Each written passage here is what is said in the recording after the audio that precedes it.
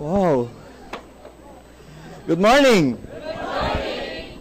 Sino yung first timer na yun ng atin? Pwede mo malaman? Ang daming first timer. Palakpakan natin mga first timer. At syempre, hindi makakarating mga first timer kung wala nag-invite sa inyo. So, palakpakan natin yung mga nag-invite. Oh, okay. Anyway, so let me introduce myself. Uh, I'm Homer Ong. I'm a biochemist by profession. No? So, ano ba ibig sabihin ng biochemistry? Biochemistry means chemistry of life. No? Yung pinag-aralan ko ay tungkol sa buhay na yung mga chemical reactions sa mga buhay-buhay and sp- specifically on the body. No? Now, ibig sabihin nun, alam ko kung ano mangyayari pag may kinain kayo, saan siya pupunta, anong magiging chemical nito, saan siya, anong gagamitan ng katawan noon, no? Yun yung pinag-aralan ko. And not only that, of course, pati yung mga medicines na iniinom nyo, anong effect nito sa katawan natin, ano siya, paano siya naggagana. So, yun yung background ko. Okay? So, now, let me introduce our company. Our company is Alliance in Motion Global, o yung short tawag natin, AIM Global. No? AIM Global, nung April 28, we have celebrated our seventh year anniversary. So, pitong taon na po nung, sa, nung April 28. Now, this coming October 26 yata, I, I'm not sure, no? So, this coming, and uh, before end of October, we will be celebrating our seven and a half year mid-year anniversary. Oh. Now, ito yung maganda. Sa loob ng seven years, AIM Global was able to have more than 800,000 distributor nationwide. Dami ba yung 800,000? Hindi lang po yun. Ang pinakamatindi, within seven years, AIM Global was able to create more than 800 millionaires. Grabe, no? Kayo na kaya susunod milyonaryo dito?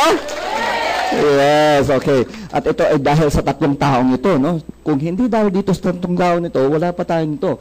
Itong unang-una, si Dr. Ed Cabantog. Siya ay isang medical doctor. Siya yung ating presidente at CEO. Followed by Engineer Francis Miguel, isa siyang electronics engineer. No, siya naman ang vice president natin for finance. And last but not the least, of course, is Sir John Aspirin. Isa naman siyang physical therapist at siya yung ating vice president for marketing. So itong tatlo, napansin niyo, puro mga Pilipino. Okay. At ito pa, pangalan pa lang AIM Global. Global na tayo na yon. Meron na tayong office sa Singapore, sa Taiwan, sa Hong Kong, sa Macau, sa South Korea, Abu Dhabi, Dubai, Nigeria, Ghana, sa Tokyo, malapit na tayo magbukas, no? Konting-konti na lang, ilang ilang tulog na lang magbubukas na yung Tokyo natin. At dito pa sa Malaysia, magano na rin, ano? Ilang tulog na lang, bubukas na rin yung ating Malaysia. At ito pa yung pinakamaganda. Meron na rin tayong office sa Honolulu, Hawaii. Imagine mo, pati US, pinasok na natin. And we're still growing. Ano? Lumalaki, lumalaki pa ang AIM Global. Kaya tawag nga natin, global na tayo na yon. Okay? Excuse me. At eto po, ang AIM Global, siyempre may mga produkto po tayo. Pero right now, hindi pa tayo gumagawa ng sarili nating produkto. Meron tayong partner. At ito yung ating partner, Nature's Way. Narinig yung pangalan Nature's Way? Nature's Way is very popular. No? Sila yung nagsusupply ng majority of our product. No? Ang Nature's Way has been manufacturing natural products for almost 50 years. Pag sinabing natural products, ano ibig sabihin noon? Mga herbal. No? Imagine mo, kung ikaw gumagawa na ng natural products for almost 50 years, ano ibig sabihin noon? Pangit ba produkto mo? Maganda? Maganda. In fact, Nature's Way is the number one natural products company in the U.S. So can you imagine, kung ito yung partner natin at sila yung nagsusupply nat sa atin ng mga produkto, sa palagay nyo, maganda kaya ang produkto ng AIM Global? Yes! Okay, so yun po, no? Yun yung maliit na background natin about our company. Now, this afternoon, before we talk about something else, no? Let's talk about health. Mahalaga ba sa inyo kalusugan nyo? Yes! Totoo ba mahalaga sa inyo kalusugan nyo? Yes! Sorry ha, hindi ako naniniwala kung totoo mahalaga sa inyo kalusugan nyo. Ito lang simpleng tanong. When was the last time nag-invest kayo sa inyong kalusugan? Kailan yung huling pagkakaton gumasto kayo? Bumili mo lang kayo ng Crucible, o kaya Revicon, o kaya Centrum, o kaya yung 150, yung 150 vitamin C. At iniinom araw-araw para ma-maintain na hindi kayo magkasakit. Kailan yung huling pagkakataon ginawa nyo yon? Wala na sumasagot, oh. Sabi niyo, mahalaga sa inyo kalusugan niyo. Pero simpleng-simpleng bagay na may-maintain nyo yung katawan nyo, hindi nyo ginagawa. No? Kasi ito yung totoo. Sa buong mundo, hindi lang po sa Pilipinas, people spend more for vanity than health. Mas gumagasto ang tao magpaporma, magpaganda kaysa kalusugan. Kung hindi ba yan totoo, tingnan nyo yan. Yung abon, matagal na dapat nagsarado yan. Eh, hindi ba yung mga abon, abonado ka palagi? Pero bakit ang tagal, ba't ang tatag pa nila? Because they're selling beauty products. Di ba? Oh, kayo na lang, matanong ko kayo. Ilan dito sa inyo nag-ipon ng pera para magkaroon kayo ng pagkakaton, magpariban?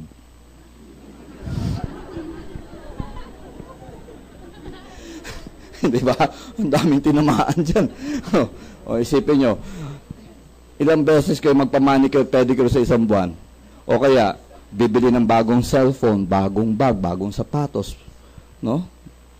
Bagong damit. At para saan to? Hindi ba pamporma? Di ba? Hindi ba ginagastuhan nyo yan? Pero yung simpleng-simpleng 1.50, hindi mo paglaanan? Can you imagine? Tama ba? O maraming tinamaan? Yun yung problema natin. People spend more for vanity than health. No? Napapansin lang natin ang ating katawan pag may sakit na. Tama ba? Eh pag may sakit ka, kalusugan pa ba pinag-uusapan? Hindi na. Kasi may sakit ka na, hindi ba? So, yun yung problema natin. Na, tingnan nyo. Right now, we have the top three killer. Ito yung pinakamatindi. Unang-una ay sakit sa puso. No? Cardiovascular disease. Hindi lang po ito sa Pilipinas, sa buong mundo ito. Number one po yan. No? Ang number two, of course, is diabetes. Now, tingnan nyo. Number one, sakit sa puso. Number two, diabetes. Matanong lang po na yon. Dito sa kwartong nito, Sino dito may kakilala o kamag-anak o kaibigan may sakit sa puso? Pwede po malaman? Okay, maya. Taas po kayong kamay. Dami. Pangalawang tanong, sino na naman dito sa kwartong ito, merong kakilala, kamag-anak o kaibigan, merong diabetes? Abay, mas marami. Na, tingnan nyo ha, sa kadami-dami nagtaas ng kamay. Anong ibig sabihin? Ang ibig lang sabihin nun, dito sa Metro Manila, maraming may sakit sa puso at maraming may diabetes. Tama? Tama ba? Ngayon, tanungin nyo sarili ninyo. O kaya, ito yung simpleng tanong. Hindi nyo ba naitanong sarili nyo, kailan kaya ako susunod dyan? Hindi ako nagre-release ng sumpa, hindi ko sinabi kayo na susunod. Pero sa kadami-dami ng taas ng kamay, anong ibig sabihin? Maraming meron ganong sakit. Tama? Kung susundin natin, meron ba ditong mathematician? Meron ba? Wala. Kung susundin natin ang statistics, base sa law of probability, sa kadami-dami ng taas ng kamay, posibleng ikaw na susunod. Tama? Do you agree? Yes. Kasi yun yung law of probability eh. Tama? Na yun. Tanong,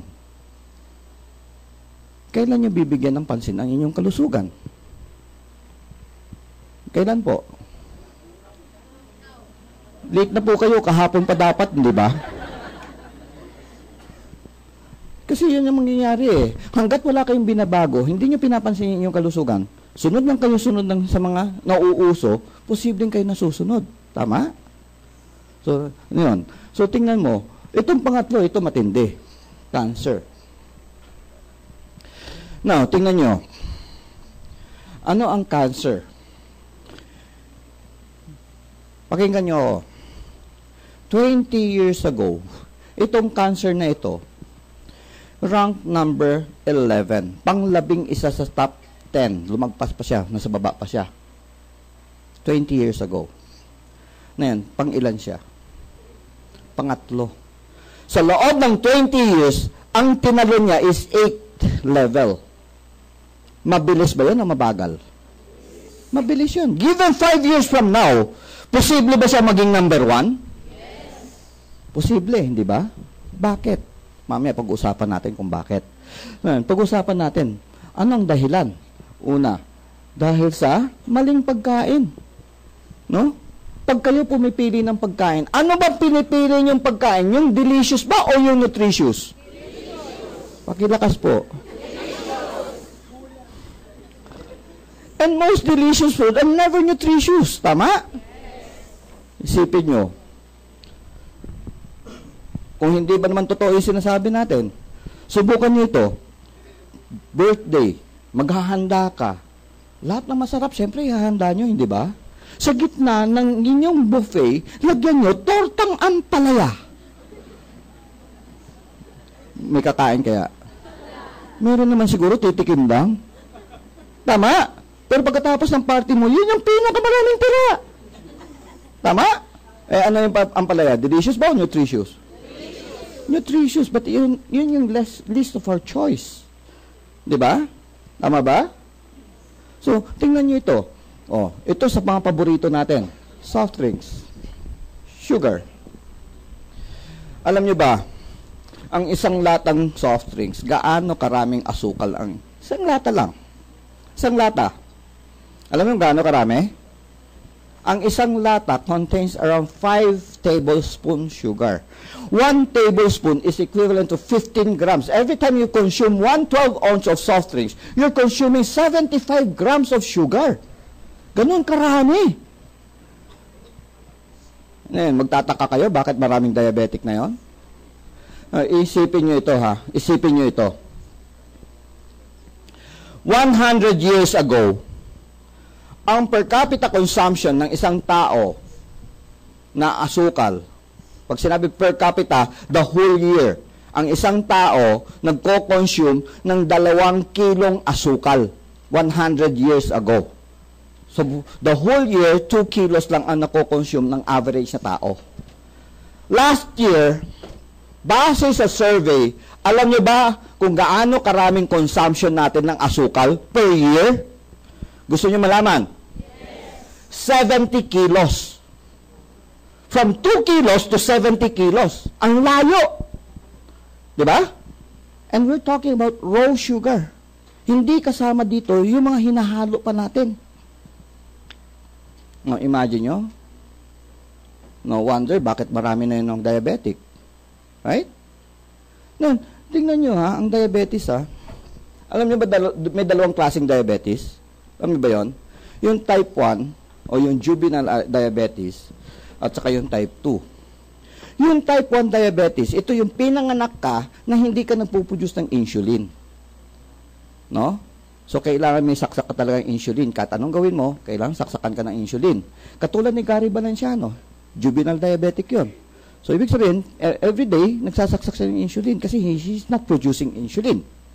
Yung type 2, ito yung tinatawag natin noon, nung ako'y nag-aaral pa, ang tawag namin sa type 2 diabetic, ito ay adult onset diabetes. Ibig sabihin, kung kailan pumatong ang isang tao ng 50, doon siya nagkakaroon ng diabetes. In other words, nagkakaroon ng acquired diabetes. Lately, nakakabahala. You know why?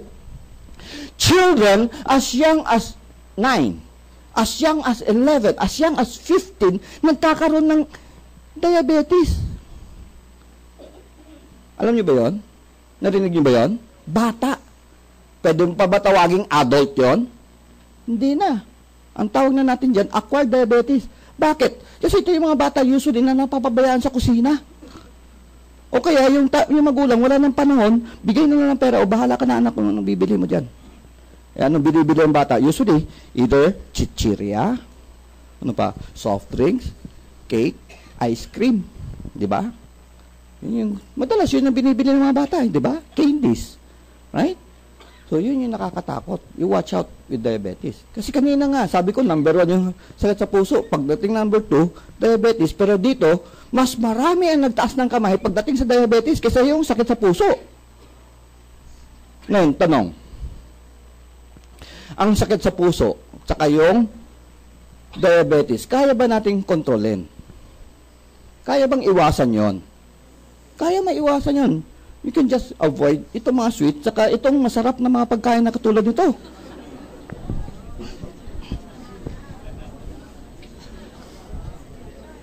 O, oh, sa party, hindi ba ito yung unang nauubos?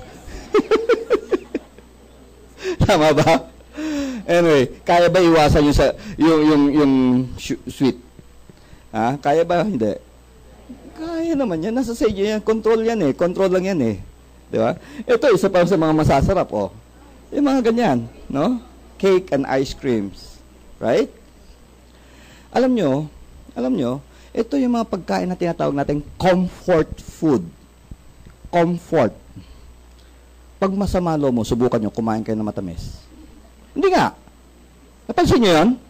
When masama loob mo, may problema ka, kumain ka matamis, na-alleviate yung mga sama ng loob mo. Have you noticed that? Kaya nga tawag natin comfort food eh. Kaya tingnan mo, yung mga palaging sawi sa pag-ibig, mamaya lumulobo. Kaya ng kaya naman tamis eh. Hindi nga. You notice that? Napansin nyo yun?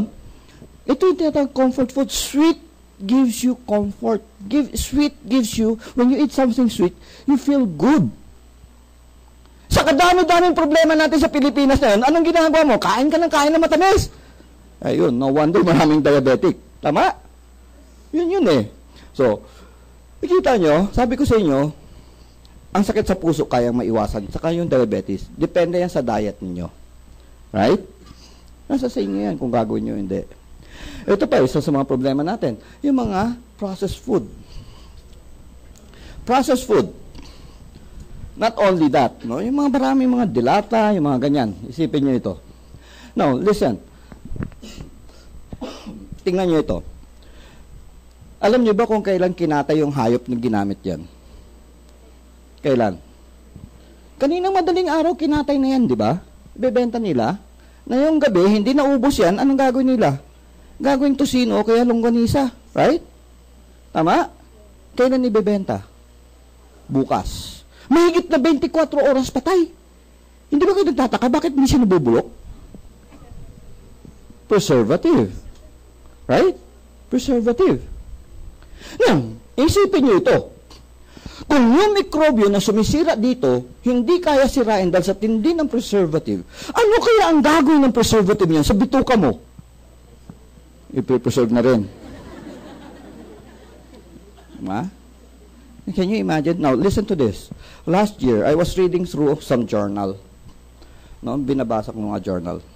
Sabi doon sa isang article na nabasa ko, children who eats hot dog every other day is more likely to develop leukemia. Sa US yun, ha, sa US. Ulitin ko, sinabi niyan, children who eats hot dog every other day is more likely to develop leukemia. Ano meron sa hot dog? Preservative. Dito sa Pilipinas, every other day ba ang hotdog ng anak nyo?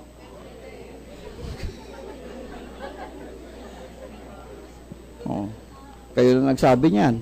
Now, usually ito, processed food is linked to cancer. Yun lang ibig sabihin ng sinasabi ko. Processed food is linked to cancer. So, as much as possible, we have to avoid mga processed food. Okay? Eh, ang problema lang natin kasi, pag uwi mo sa bahay mamayang gabi, gabi na, mabot na alas 10, alas 9, uwi ka sa bahay. May panahon ka pa ba magluto? Ang gagawin mo, kakatay ka na ng dilata. Di ba? Yun yung very common practice, di ba? O, ito pa, sabi nga natin, unhealthy lifestyle. One of this is smoking. No? Ngayon,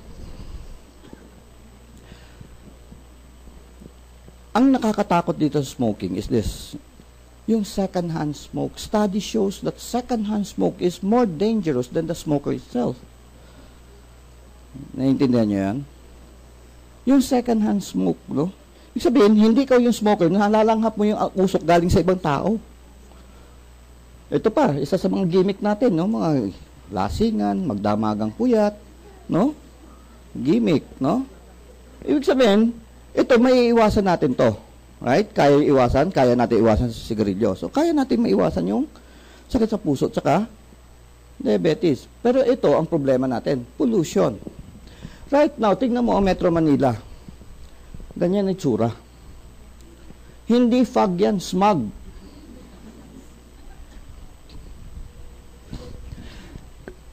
Sino sa inyo, siguro naman lahat naman tayo dito nakadaan na ng Quiapo. Dumaan kayo ng Quiapo, sakay kayo, yung jeep na open, dumaan lang kayo. Hindi naman kayo bumaba, dumaan lang. Pagdating sa bahay, pag ganyan nyo, anong kulay? Can you imagine gaano karaming pollution na langhap mo sa pagdadaan pa lang? Alam niyo ano meron dito sa pollution? May mga particles na ito, mga chemical particles that we call free radicals. Narinig yung salitang free radical? Okay. Itong free radicals, these are chemicals that are very unstable. In other words, dahil sila ay very unstable, they are highly reactive. Ibig sabihin, pag dumapo sa balat mo, sinisira niya ang balat mo. Pag nalanghap mo, lahat ng dadaanan sa katawan mo, sinisira niya. No? Not only our body, but also everything in, around us. Example na lang, para meron kayong idea how, how, how free radical is so dangerous bumili kayo ng dalawang monoblock. Upuan yung plastic na upuan, dalawa. Yung isa, itago nyo sa kwarto. Yung isa, ibilad nyo sa araw. Alin ang unang masisira? Nabibilad sa araw. Kasi yung sa araw, mas maraming free radical. Can you imagine? Kung yung plastic sinisira, eh ano kayang gagawin sa katawan mo? Sinisira niya rin yan. Now, ito yung imagine nyo na yun. Tumayo kayo, lumabas kayo, tumayo kayo doon sa kanto ng EDSA at Ortigas Tumayo kayo ng isang minuto lang. Just one minute. Alam nyo ba kung gaano karaming free radicals na langhap nyo sa loob ng isang minuto? Let me tell you this. Hindi na bababa sa isang milyon particles. We're talking about particles are so small na hindi natin nakikita. Kaya yung 1 million, normal pa yung bilang doon sa kantong yun. Can you imagine gaano karaming sisirain sa loob ng katawan mo with 1 million free radicals? In 1 minute? Huh? Ito pa. Yung mga tinatapon natin, no? Mga waste, no? Toxic waste, no? Hindi lang yan. Pati yung sa bahay, yung nagsusunog ng basura. No? O ito pa, yung mga power plant. Gumagawa ng kuryente. Na, tingnan nyo ito. Sa ngayon, ang Pilipinas, meron tayong 97 million na tao. Sa palagay nyo, mababawasan ba ang tao sa Pilipinas? Madadagdagan? Madadagdagan. Pag nadadagdagan ng tao, ano mangyayari sa sasakyan? Tataas ang demand para sa sasakyan. Tama? Tama ba? Mababawasan sa sasakyan, madadagdagan. Mababawasan ba ang power plant? Madadagdagan. Mababawasan ba ang free radicals o madadagdagan? Yun ang dahilan bakit tumataas ang bilang ng cancer. Nakuha nyo? So, with that, tingnan nyo. Sabi natin, pwede nating baguhin ang pagkain at lifestyle para maiwasan ang sakit sa puso tsaka diabetes. Tama? Alala nyo? Eh yung cancer, kaya ba natin iwasan? Kaya ba natin iwasan? May solution ba tayo doon? Meron. Ang solution natin ay antioxidants. Narinig niyo yung salitang antioxidants? Antioxidants are free radical scavenger. Ibig sabihin, yung kanina pinag-uusapan natin, yung free radical nandun sa pollution. Tama? So, dahil siya ay free radical scavenger, anong ginagawa ng antioxidant? Ang ginagawa ng antioxidant is to neutralize yung free radical. Inyo-neutralize niya. Pag na-neutralize niya, makakasira pa ba ang free radical sa ating katawan? Ha, makakasira pa ba? Hindi na. Okay. Let me show you a demonstration. Ano ibig sabihin natin dyan? Kung makikita nyo ito, Meron ako ditong betadine. Betadine contains iodine. Iodine is a free radical. Okay? Ngayon, huwag niyo na ako itanong kasi pag tinanong niyo pa ako kung bakit siya naging free radical, pag-uusapan natin chemistry, magno-nosebleed kayo. So, eto. Itong betadine,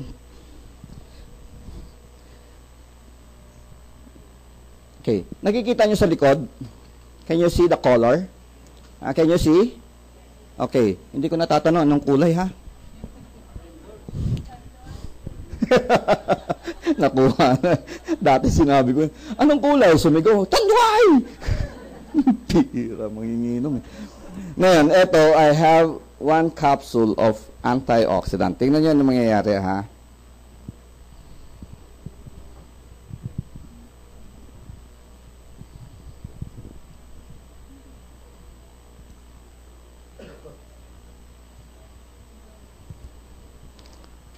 Okay. Can you see? Tingnan niyo maigi ha.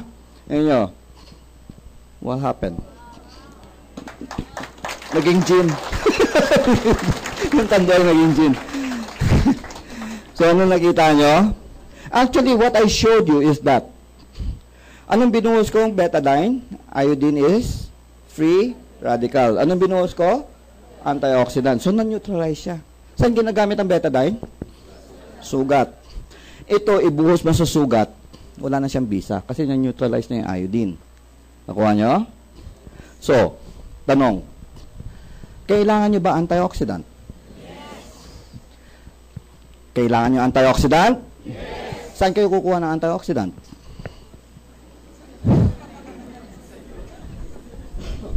Hindi sa akin. your body produce antioxidant. If your body doesn't produce antioxidant, patay ka na.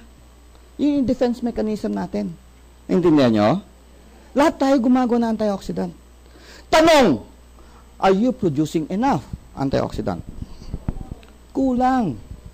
Sa daming pollution na yon, Kulang pa yan. Sabi ng World Health Organization, you need to eat at least five kinds of fruits and vegetables every day in order to supplement your antioxidant. Kailangan kumain ka limang klaseng prutas at limang klaseng gulay araw-araw. Can you do that?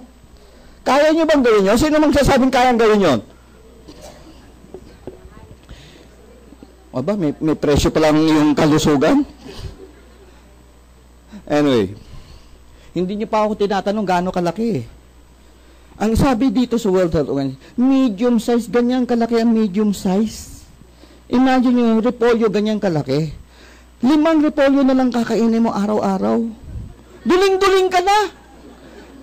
Hindi pa kasama ang prutas dyan. Di ba? So medyo malabo, hindi ba? Medyo mahirap. So let me introduce our first product. Ito yung unang-unang produkto natin, yung ating Complete Phyto Energizer. Yung binuhos ko kanina, that is complete. Malakas bang antioxidant ang complete?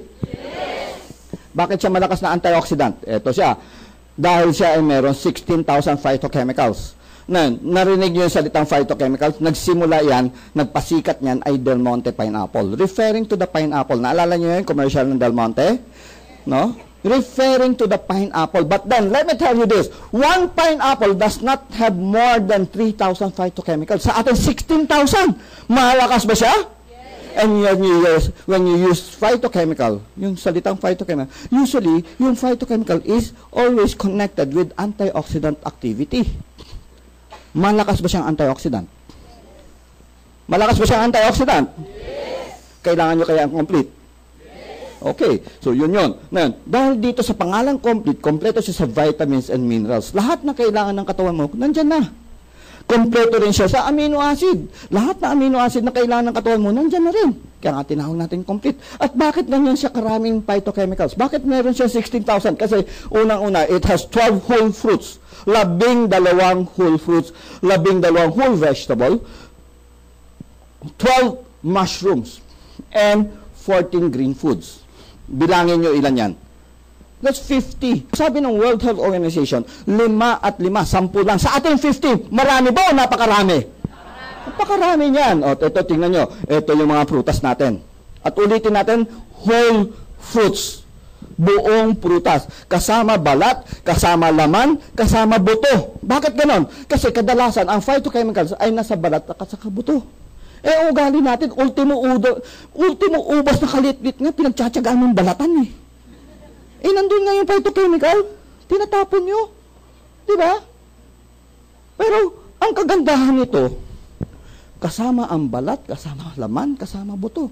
Ngayon, tanong ko lang sa inyo, nas, nakakain na ba kayo pinya kasama balat? Magkakasugat-sugat kayo niyan, di ba? Kaya ang ginawa natin, in-extract na natin, kinuha na natin lahat, ginawa natin, kinoncentrate natin, at hinalo na natin para hindi na kayo mahirapan kumain pa. Maganda ba yan? O, ito, pa. 12 whole vegetable, kasama rin yung ugat dyan, no? At ito, mushrooms. Ito mga mushrooms ito, these are very unique mushrooms. Okay, punta kayo sa Ongpin. Pakita niyo yung pangalan niyan sa mga Chinese drugstore. And you will learn that these mushrooms are very unique. These are used by Chinese traditional medicine as anti-cancer food. Maganda ba yan itong produkto? At ito pa, meron tayong 14 green foods. Ito yan, tingnan nyo. Meron kasama dyan, spirulina. Kasama rin ang wheatgrass, kasama rin ang barley. Nauso dati ang spirulina. Nauso na yon, nawala na siya. Right? Nauso naman yung wheatgrass. Na yun, anong uso? Na yun, tanong nang, pag bumili kayo ng spirulina, bumili kayo ng wheatgrass, bumili kayo ng barley, magkahalo ba sila o hiwa-hiwalay? Eh bakit pa kayo bibili hiwa-hiwalay? Samantala ito, kombinasyon na. At ito siya, tingnan nyo. Ito yung mga sangkap niya. Nan, tanong. Ano lang. Sino sa inyo nakatry na ng uminom complete? Sino nakainom na ng complete? Oh, ang dami. Okay. Among those na nagtaas ng kamay, sino dito ang may sakit uminom ng complete gumaling? Taas ang kamay. Dabi rin. Siguro naman, hindi pare-pareho yung sakit ninyo. Tama? Siguro naman hindi kayo magkakakilala. Right? Tama? Bakit gumagaling? Ano sikreto ng complete at bakit ang daming klaseng sakit gumagaling? Gusto niyo malaman ang sikreto ng complete? Interesado ba kayo? Yes. Ano sikreto ng complete? Wala. Complete lang siya. Yun yun. Kompleto nga siya sa lahat ng sangkap na kailangan ng katawan mo. Ang tunay na sikreto ay nasa loob ng katawan natin. You know why? We have the ability to defend ourselves. Imagine nyo, may trangkaso ako, nagatsing ako dito sa kwarto to, may mahahawaan kaya? Lahat ba kayo mahahawaan? Sino yung mahahawaan? Yung mahina, ang resistensya, immune system. Ang malakas, hindi mahahawaan. Paano mo pinapalakas ang resistensya mo? Anti-oxidant. Yun yung nagpapalakas ng resistensya natin panglaban sa mga sakit. Tama? Kailangan nyo ba antioxidant? Kailangan nyo ba complete? Okay. Pangalawang sikreto, we have the ability to repair. Kaya natin magkumpuni ng sira sa ating katawan. Example na lang, pag nasugatan ka, naghihilom ba ang sugat mo? Ibig sabihin, nag, nagre-repair ka. Right? Tama ba? Ang nakita mo, yung labas, yung sa loob, nagre-repair yan. No? Continuous yan, dynamic yung katawan natin, nagkukumpuni yan. Pero ito tanong ko, ikaw ba nakasubok ka mag-repair ng sira na wala kang pyesa? Kaya mo ba mag mag-ayos ng sira na wala kang pyesa? Obviously, hindi. wala kang pyesa eh. O kahit na wala lang tools. Imagine mo, aayusin mo radyo mo, wala kang screwdriver, pambukas. Hindi mo nga mabuksan, paano mo ayusin? Di ba? Nakuha nyo? Ito, very classic example na very, very simple. Mga babae, nangyayari madalas to. Iron deficiency anemia. Madalas nagiging anemic babae kasi dinudugo, nababawasan na iron. Tama? Ang solusyon ay napakasimpleng solusyon lang. Ferrous sulfate. Sino sa inyo nakainom na ng ferrous sulfate? Yak. Yak, di ba? Yak ng lasa. Lasang kalawa ang lansa. Eh kung hindi ka iinom dahil hindi mo gusto yung lasa, gagaling ba yung anemia mo? Hindi. Kasi yung iron is the, the component that you need to repair yung problema mo. Nakuha nyo? Kaya yung complete natin, kompleto siya sa lahat na sangkap na kailangan ng katawan mo. Maganda ba o napakaganda? Okay, napakaganda niyan. So ito, meron pa tayo isang maganda, yung ating Restore Life. Ano yung Restore Life? Ang Restore Life, ang laman ng Restore Life is resveratrol. Now, resveratrol originally was found in red wine o grapes. Ngayon, eto papasok ang kwento kong ito. Ang kwento kong French paradox. Ano ibig sabihin ng paradox? Yung hindi nagtutugma. No? Bakit ang French? Sabi nga, bakit daw ang French napakalakas kumain ng mga pagkain very rich? Pag sinabi mong very rich yung pagkain, ibig sabihin loaded with cholesterol. Okay? Bakit daw yung French ang lakas kumain ng rich food and yet French has the lowest cardiovascular disease? Di ba? Hindi, nagtutugma? Tama ba? Ang lakas kumain ng cholesterol, pero kukunti lang sa kanila, may sakit sa puso. Bakit? Because French kahit almusal, nagre-red wine na. Ang lakas nila uminom ng red wine. So, di, dito pumasok ang pag-aaral nila. Ano meron sa red wine? They found out, they discover resveratrol. Okay, nakuha niya? So, ano meron sa resveratrol? Resveratrol is very powerful antioxidant. Malakas siyang antioxidant. Dahil dito, kaya niyang tulungan maiwasan sakit sa puso. Pangalawa, against cancer. Kasi it's a very powerful antioxidant. Lumalakas ang immune system mo. And when your immune system is very strong, napaglalabanan mo ang cancer. Okay? Pangalawa, pangatlo, ito yung ating Alzheimer. Ipinoprotect niyo yung brain natin. At ito yung diabetes. Mamaya ipapaliwanag ko yung diabetes. Ang last nito is it activates SIRT1 gene. Itong SIRT1 gene, ito yung sa DNA natin. Itong gene na ito, pag na-activate mo ito, bumabagal ang aging process. Kaya tawag natin anti-aging. Hindi ibig sabihin hindi ka tatanda, bumabagal lang. Baka mamaya sabihin, ay, baka hindi na ako tumanda nito, mabot ako 1,000. So, bumabagal lang, okay? Maganda ba ating restore life? Yes. Ulitin natin, maganda ba restore life? Yes. Maganda ba yung complete? Yes. Ano kaya kung yung complete na maganda at yung restore life na maganda, ipagsama kaya natin, ano mangyayari kaya? Magandang maganda, we'll have a product na napakaganda, yung ating C24-7. Now, C24-7 is a combination of complete and restore life.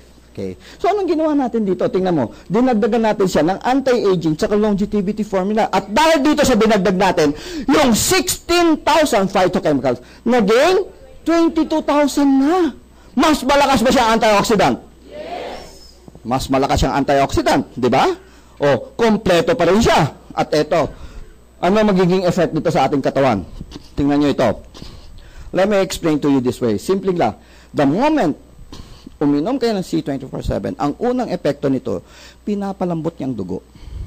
So kung malambot ang dugo mo, yung puso mo ba mahihirapan pa magbomba o madali na siya magbomba? Kung madali siya magbomba, nakaka-relax yung puso, hindi ba? Nakakapagpahinga. Tama? Ano mangyayari sa blood pressure mo? Pababa. Di ba? Ngayon, tanong lang, alam niyo ba kung kailan nagsimula tumibok puso niyo?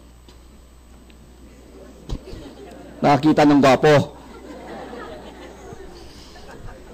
Three months kayo, three months kayo sa nanay niyo, he started to beat. Okay? Tatlong buwan pa lang kayo sa loob. He started to beat. Until now, nagpahinga na ba puso mo? Hindi pa. Gusto mo subukan natin 5 minutes? So, can you imagine? Maganda ba yun to? Makakatulong ba yun sa ating heart? Nakaka-relax siya. Right? Okay. Pangalawa, dahil siya ay malambot, yung dugo natin, ano mangyayari? Dahil malambot siya, kaya niya i-penetrate yung mga mga ugat na kasing nipis ng buhok, yung tinatawag na capillary arteries. So kung maganda siya mag-penetrate, ano ibig sabihin? Kaya niyang umikot even to the dulong-dulo ng mga daliri mo. Di ba?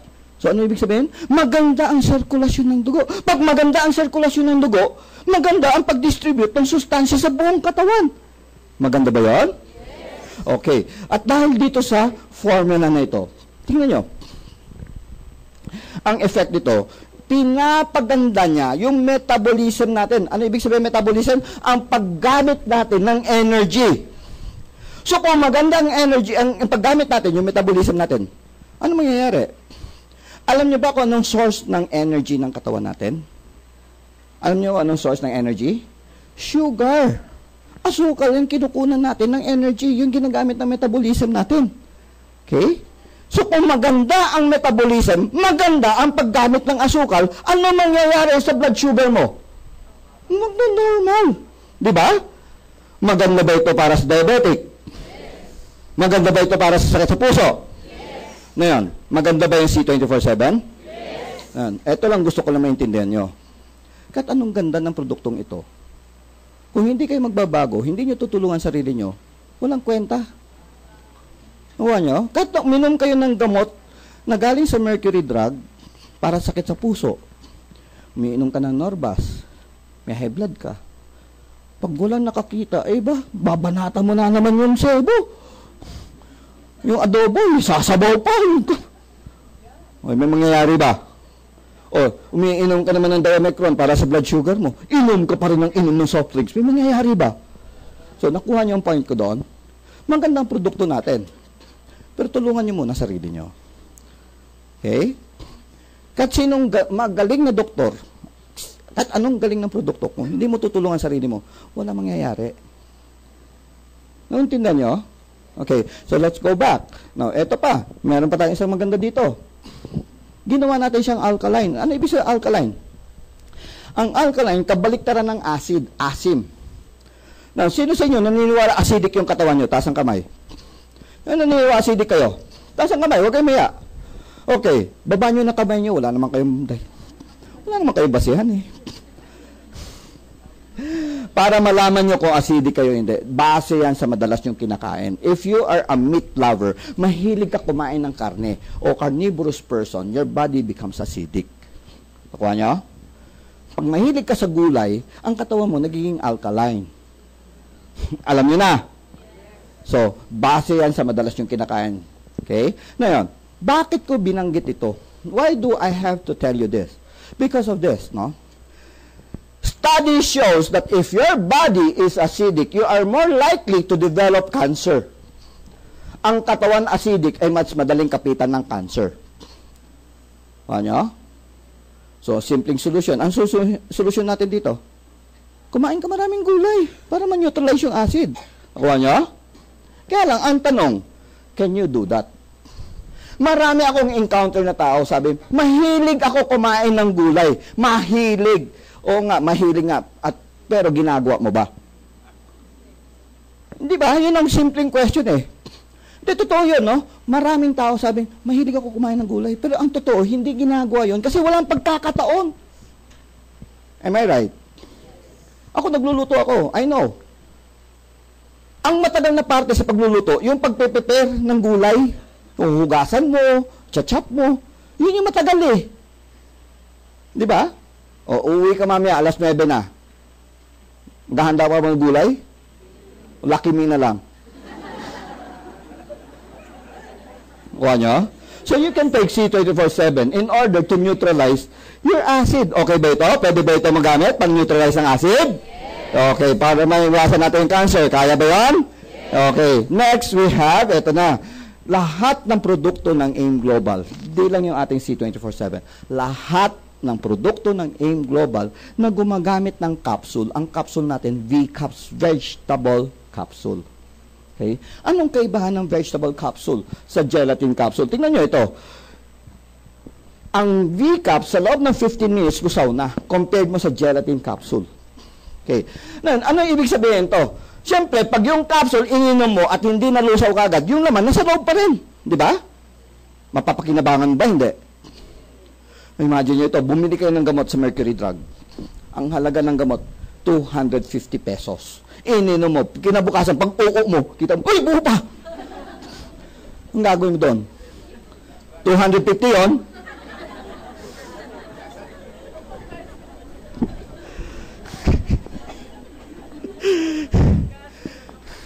Eto lang, gusto mo maintindihan nyo. Kahit hugasan mo siya na maigi at inumin mo uli, wala nang kwenta. You know why? You took that medicine yesterday because you need the effect yesterday, not today. Kuha nyo? Sayang talaga yun. I-flush mo na lang. Kuha nyo? Kaya nga, ang ating produkto, ulitin ko, lahat ng produkto ng AIM Global na gumagamit ng capsule, ang capsule natin, puro V-caps. To ensure that within 15 minutes, lusaw na siya at sinabog niya na ang sangkap sa ating katawan. Maganda ba o napakaganda? Okay. Ngayon, ang C24-7, for your information, hindi pwede sa bata.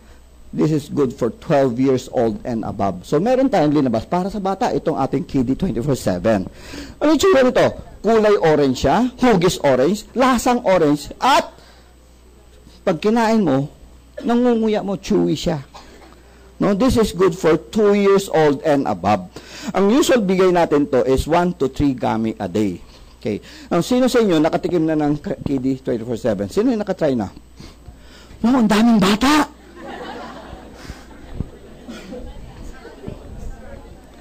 Hindi, doon kayo sa above. na, masarap ba? Masarap? Masarap ba? Okay, eto warning lang. Pag natikman na ng anak mo, itago mo na. Kasi uubusin ka agad akala candy. Okay, but ang bigay natin, 1, 2, 3. Ano meron dito?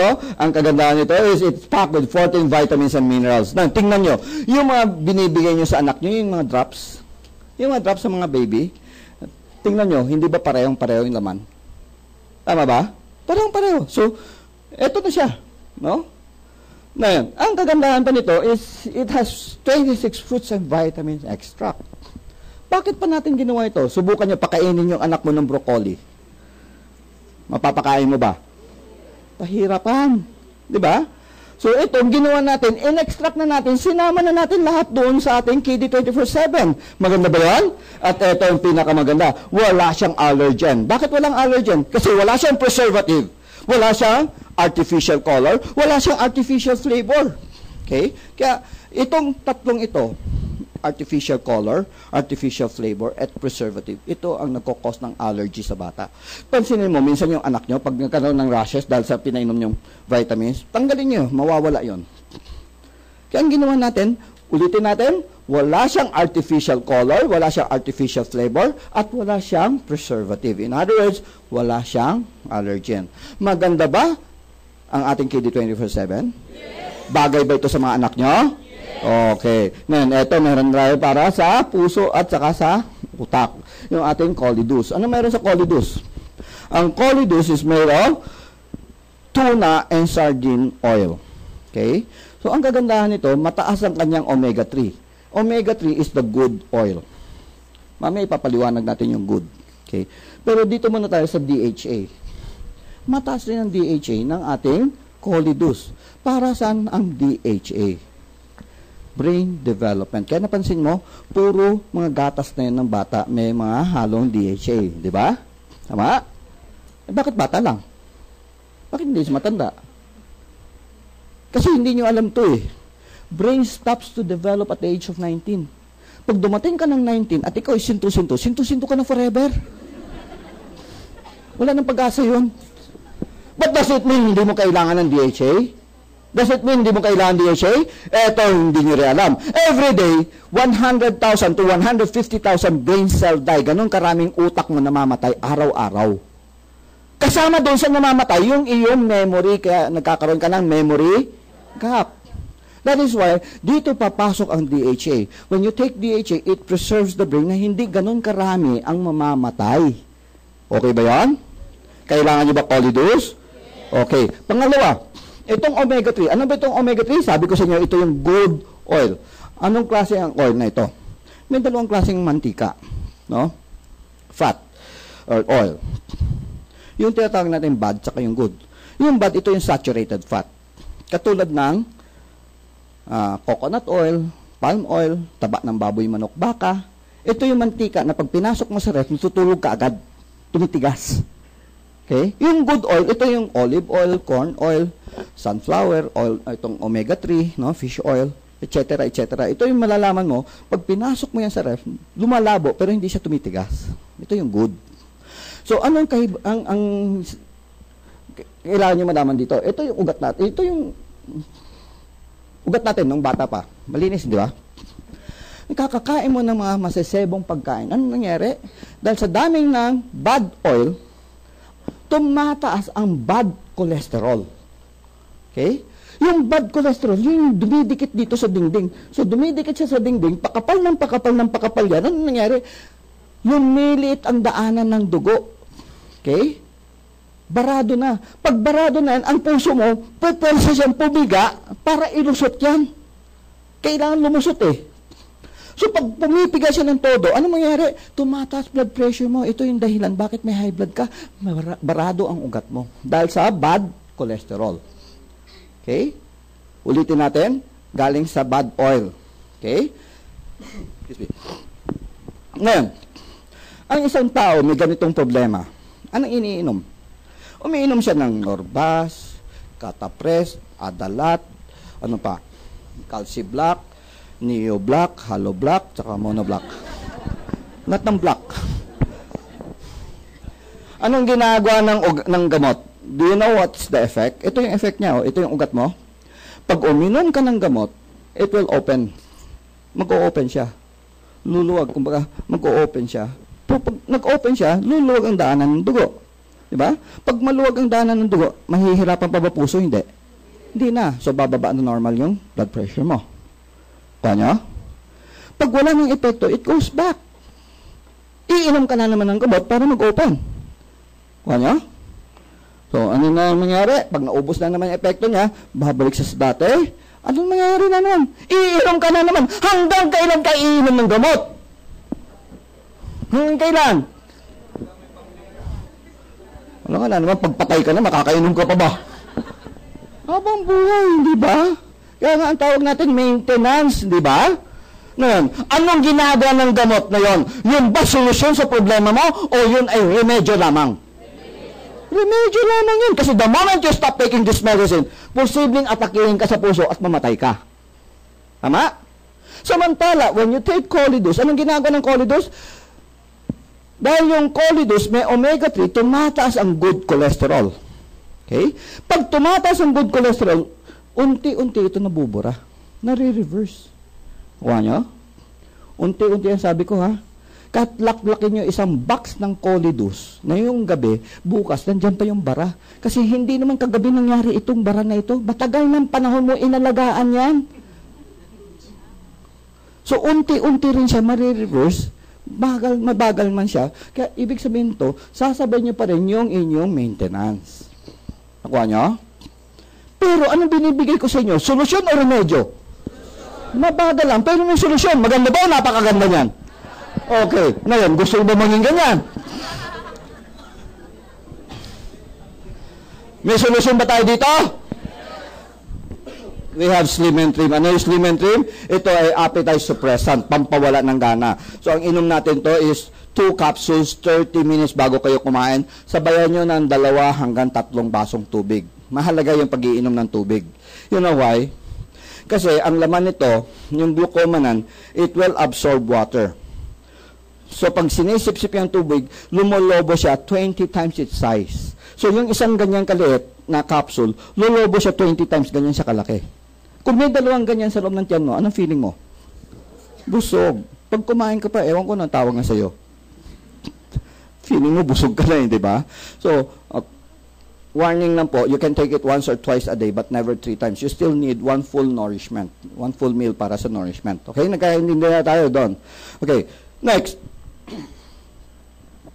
We have white light. Ano itong white light naman to? Ano ito? Glutathione. Para saan ang glutathione? Sabi ko na nga. Hindi po pampaputi ang glutathione. Ang pagpapaputi sa glutathione is only a side effect. Ang unang-unang effect ng glutathione is for liver detoxification. Pangtanggal ng lason ng toxin sa liver. Yan yung unang function ng glutathione. Okay. Ngayon, para sa inyong kaalaman, ang liver, next to the heart, the liver is the most overworked organ. Okay? Ang puso non-stop. Liver is also non-stop. Kahit tulog ka nagtatrabaho ang atay. Okay? Lahat na pagkain na pumasok sa katawan mo, naging sustansya, lahat ng sustansya na galing sa bituka mo, it goes to the liver. Kailangan dumaan siya sa atay para prosesohin. At pag naproseso yan, gagawin siyang iba-ibang klaseng chemical para sa iba-ibang parte ng katawan. Okay, naintindihan nyo? At katulad ng lahat ng klaseng proseso, pag may ginagawa ka, may natatapon, may waste, di ba? Naintindihan nyo yan? Imagine nyo lang, kunwari, nagtatahi ka. Pag nagtatahi ka ba, may ritaso, wala? May ritaso, hindi ba? So, tahi ka ng tahi ng tahi, dumadami ng dumadami ang ritaso, walang tagalinis. Ano mangyayari? Dadating yung panahon na punong-puno na yung paligid mo ng ritaso, hindi ka na makatrabaho, tama? Ganun rin yung atay mo mangyayari sa kanya. Kung trabaho siya ng trabaho, dumadami ang toxin sa katawan niya, sa kanyang paligid, hindi nililinis, nagkakasakit siya. Dito papasok ang glutathione. Siya yung tagalinis ng ating atay. Naintindihan nyo? Na yan. Alam ko gusto nyo malaman paano kayo pumuti. Ito yon. Imagine nyo ito, glutathione. Ito yung atay. Ginamit siya ng atay. Di ba? Ginamit. Eh kaso, konti lang ang dumi ng atay. Konti lang. So, konti rin gagamitin niya. Are you following? Yung sobra na hindi nagamit, yun yung pipigil ng melanin production. Yung melanin, yun yung color natin. Pipigilan niya, huwag kang gagawa ng melanin. So kung walang gumagawa ng melanin, ano mangyayari? Wala nang pumapalit sa balat mo na melanin, pumuputi ka. Kasi wala nang pumapalit na kulay eh. At huwag kayong umasa, ay ganun pala, kailangan pala may sumobra. Laklakin mo kaya ito mamaya ang gabi. Puputi ka kaya bukas. Hindi! Hindi ka puputi ka agad kasi it will take 2 to 3 months ng turnover ng balat mo. Di ba nagkakaroon ka ng dead skin? Kasama doon sa namamatay na balat, kasama yung kulay. So pag napapalitan yan, doon ka na pumuputi kasi wala nang pumapalit ng kulay. Kuha nyo, 2 to 3 months. Huwag kayong hibang. Baka mamaya sabihin nyo, halaklakin ko ito. Maganda ba ito? Hindi, na yan, ito na. Ang dami natin na yon produkto sa market na mga glutathione, right? May mga sabon pa nga eh. Anong gagawin mo sa sabon? Iinumin mo, kakainin mo? Kailangan may pumasok sa katawan eh. Di ba? Kailangan dumaan sa liver. Ngayon, ito yung maganda. Ito yung hindi, may, hindi, hindi pinapaliwanag sa inyo. Maraming glutathione sa market na sa capsule. Ah, tama?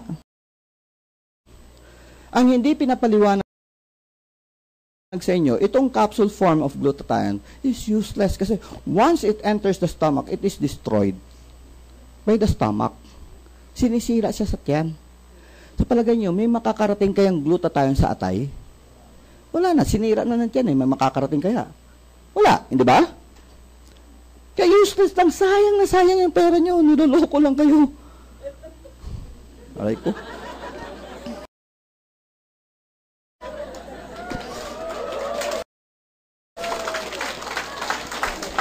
Yeah, what we did is we come up with a glutathione that you spray under the tongue, sublingual. Tingnan niyo ilalim ng dila. You spray it under the tongue. Uh, tingnan niyo ilalim ng dila. Dila, hindi ipin. Di ba maraming ugat? Di ba? Ngayon, yung tao ay inaatake sa puso, saan may lalagay ang gamot? Lalim ng dila. Sublingual application. Okay? Kuha niya? Kasi ang effect noon, once you put it under the tongue, it will be absorbed directly into the blood dahil sa ugat. Sisip-sipin ka agad papunta sa dugo yan. Hindi na kailangan duman sa tiyan. Kuha nyo? Binabypass yung tiyan. Tawag natin yan first pass. Dina, binabypass niya yung tiyan. Diretso na siya sa dugo. So, ganun to ang gagawin natin. Itong ating white light, tatlong puff sa ilalim ng dila. Let it stay for one minute before you swallow it will be absorbed directly into the blood bypassing the stomach.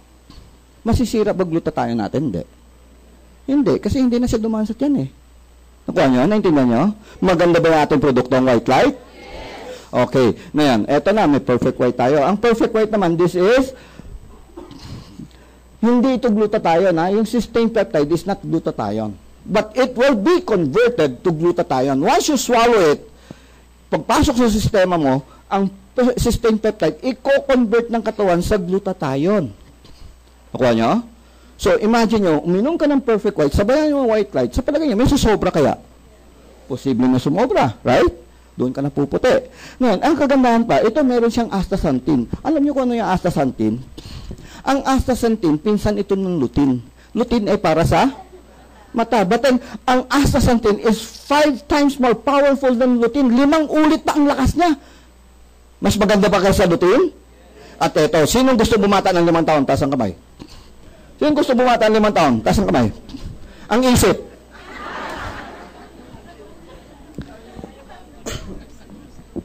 Okay, seriously. Seriously. Who wants to look five years younger? Okay. Ito ang gagawin nyo mamaya. Pag uwi nyo sa bahay, kuha ka kagad ng picture tumatawa. Pero serious na nga ako eh. Kuha ka ng picture and then you start taking perfect white, two tablet three times a day for three months. After three months, kuha ka uli ng picture at i-compare mo yung picture mo last night saka three months after. Anong bakit ko pinapagawa yan? Kasi kung araw-araw nakikita mo mukha mo sa salamin, hindi mo makikita ang pagbabago. Kakailangan may picture ka before and after. Okay? Ulitin ko, 2 tablet 3 times a day for 3 months. You know how it works? Gusto niyo na, interesado ba kayo?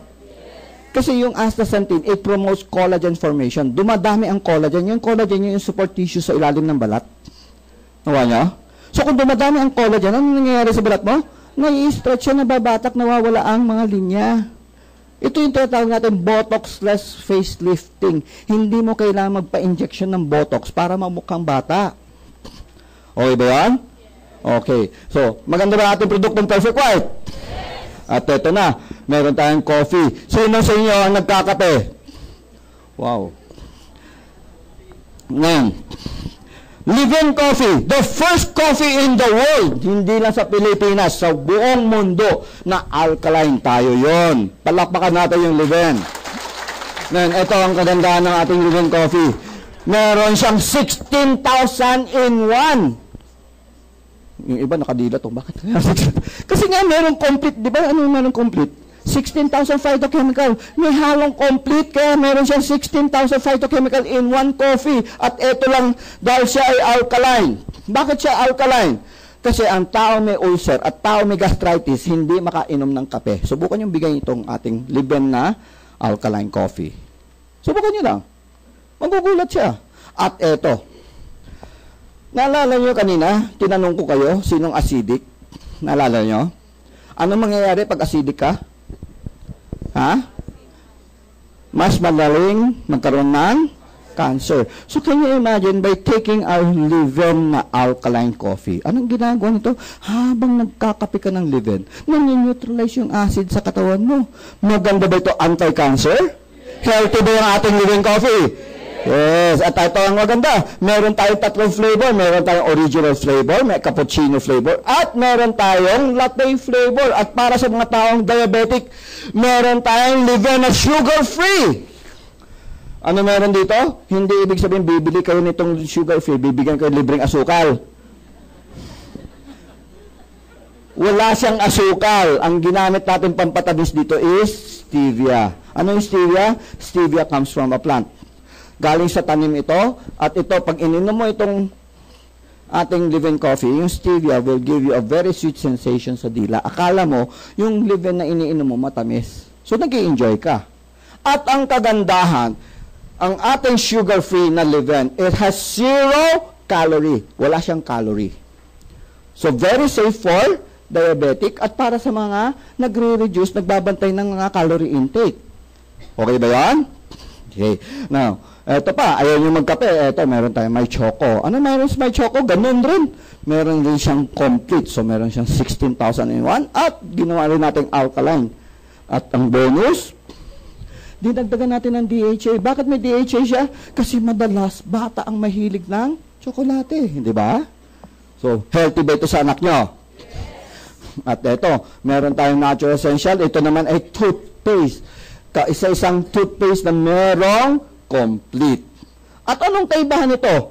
Mapero sa complete, meron siyang tree oil, at mire extract. Ito yung tatlong tinatawag nating natural antibiotics. Natural. Bakit siya ginawa ng ganyan? Ano ang dahilan bakit may bad breath ang isang tao? Mikrobyo. Yun yung nagkakos ng bad breath, hindi yung bulok ang ipin. Yung mikrobyo ang nagkakos ng bad breath. Yung mikrobyo rin ang nagsisira ng ipin. Kaya when you use our natural essential, anong ginagawa nito? Dito dahil sa B-propose, TTL at Mar extract, anong ginagawa niya? Sinosuppress niya yung pagdami ng mikrobyo sa bunganga mo. So it's very good para mawala ang bad breath at maiwasan tooth decay. Okay ba yan? At ito pa, ang hindi nyo alam, 80% of tooth loss is not because of sira ang ipin. 80% na nawawalang ipin ay dahil sa gum problem, gilagid ang problema. Ang ipin natin nakasaksak lang sa buto. Ang kumakapit yan is the gums. No? Pansinin nyo, minsan, buo yung ipin, bakit umuuga? Meron ba naka-experience noon? Dahil yung gums ang problema. Nawa nyo? Ngayon, mapera pa doon. Minsan nga eh, sumasakit eh. Sabi mo, punta ka sa dentist, pabulot mo. Sabi mo, wala naman sira, bubulutin. Hindi nyo alam, yung gums may problema. Kaya, dahil sa sakit nito, pati yung ipin nyo apektado. Gets nyo? Kaya ang ginawa natin, dinagdagan pa natin ng piperbetal extract tsaka aloe vera. Para sa to? Pampatibay ng gum integrity. Maganda ba yung ating natural essential? Yes! Ayan. Eto na. Ang ating vida, pinaka-vida. The first, sabi nga, the first cardioceutical drink na may human clinical study. Ano ibig sabihin ito? Hindi unggoy, hindi daga ang ginamit sa pag-aaral, kundi tao mismo at pag sinabi mo cardio, meaning heart, ciotical means meron siyang medicinal effect. Okay? Hindi siya medicine, pero may medicinal effect siya. Cardiociotical meaning may medicinal effect for the heart. Okay? Ngayon, ano meron dito? It's in a powder. Isa, isa siyang sachet na meron, powder siya, no? Powder, grape juice, natural grape flavor siya, no? Ba't nawawala? Napatayan ako ng ilaw. anyway. Sige. Anyway. So, it's in a sachet. Powder siya. At ang kagandahan nito, ulitin natin, wala siyang sugar. Ang ginamit natin is stevia. Very safe for diabetic, saka yung mga nagbabawas ng timbang. Okay? Pampasexy ka nga. So, ang isang sachet nito, ititimpla mo siya sa half liter of 500 ml tubig. No?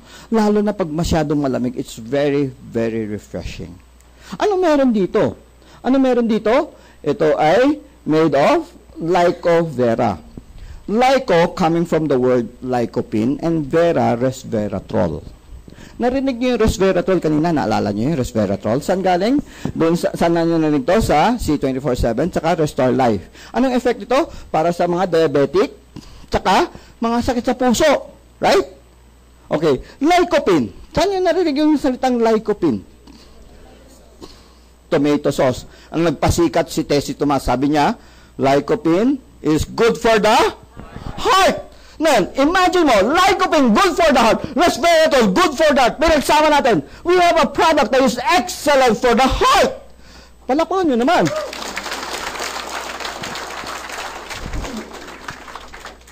Ito sinabi ko, meron siyang human clinical study. Sabi dito sa pag-aaral, pag uminom ka ng vida sa loob ng isang, isang oras, within one hour, you will experience immediate, agad-agad, artery dilation. Nag-open. Katulad ng effect ng gamot. Gamot ba ito? Hindi. Hindi. It's natural. Pero meron siyang effect na parang gamot na nag-open ang ugat. Ulitin natin, this is natural. Wala siyang side effect. Gets nyo? At ang kagandahan, sabi ng pag-aaral nito, pag tuloy-tuloy ang inom mo ng vida sa loob ng 6 to 8 weeks at huminto ka na, ba, ng ibang bansa ka, nakalimutan mo, meron pa rin siyang residual effect na 23% na tuloy-tuloy ang pag-open ng ugat mo. Maganda ba o napakaganda? Ha? O, baka, ngayon, last, ang ating cardiopulse. Ano itong cardiopulse natin? Hindi na po ito iniinom. Ito ay isang gadget na parang clip yan. Yung parang sa hospital, pag kiniklip, yung pag na-hospital kayo, may kiniklip sa daliri mo, pang monitor ng puso at saka blood pressure. So, ganun na ganun siya, no? Ikiklip lang sa daliri mo. So, all you have to do, uupo ka lang dyan ng tatlong minuto, nakaklip sa daliri mo. 3 minutes. Bawal kumilos. Bawal lumingon. Bawal tumawa. Bawal magsalita. Pwedeng huminga. Basta tatlong minuto. Parang statue ka lang ng tatlong minuto. After 3 minutes, kukunin yon at if-feed yung data na nakuha doon sa daliri mo, if-feed sa computer. And then the computer will analyze ito ang mangyayari. Lalabas siya whether you're type 1 to type 7. Itong type 1 to type 7, ito ay condition ng circulatory system mo. Nakuha nyo? Yung puso mo, yung mga ugat-ugat mo. Okay? Ngayon, pag sinabing type 1 ka, you're in excellent condition. Pag sinabing type 7 ka, nako, eh, delikado ka. Ihanda mo na kabaong mo. Anytime pwede kang atakihin. Ngayon, alam nyo ba, para makuha nyo ganitong data, para makuha nyo ganitong data. Alam mo kung saan kayo pupunta? Kailangan pumunta kayo sa hospital. No? magpapakonfine ka ng isang gabi. Pagdating ng hating gabi, gugutumin ka na. Hindi ka na pwede kumain, hindi ka na pwede uminom. Magpa-fasting ka na. Kinabukasan, sasaksakan ka ng swero. Masakit ba? Okay. Doon sa swero, isasaksak ang pangkulay sa dugo, kukulay ang dugo mo, tapos i-scan. Ang tawag natin dyan, angiogram. Alam niyo magkano gagastuin ng isang angiogram? Magkano gasto? Between 50,000 to 100,000, depende kung saang hospital ka. Okay? Mahal ba? Samantala, with CardioPulse, you will get the same result for only 1,000 pesos. Meron tayo dyan, you can have it. Pa-English kayo. Take the opportunity, mapacheck nyo na yung atin. Meron tayong room dyan for CardioPulse. Okay, so salamat pong marami sa pagpunta nyo. Tapos na po tayo. Maganda ba yung ating produkto? Maganda ba yung produkto natin? Ayan. Sino yung interesado sa produkto? Taas ang kamay. Pwede mo malaman? Wow! Grabe. Ngayon, sinong gusto bumili ng produkto? Taas ang kamay. May pera ba kayo? Ah. Ang suso niyo speaker. Alam niyo, napakaswerte niyo yung hapon. Alam niyo bakit kayo maswerte? Ang suso na speaker, hindi ordinary yung speaker. Hindi siya speaker's bureau, kundi siya yung trainer ng speaker's bureau. Grabe, no? Ngayon, sino sa inyo gusto kumita ng 24,000 pesos a day? A day. pag pera pinag-uusapan, ano, interesado talaga. Eh, gusto nyo ba matuto? Paano kayo kumita ng 24,000 pesos a day? Yes! Sige nga, ang susunod speaker, sabi ko, hindi ordinary speaker to. Trainer ito ng mga speakers. Okay? So, siya magpapaliwanag sa inyo, paano kayo kumita ng 24,000 pesos a day at paano nyo gagawin ng business. Interesado ba kayo? Sige nga, pwede ba natin siya welcome? Pwede ba welcome?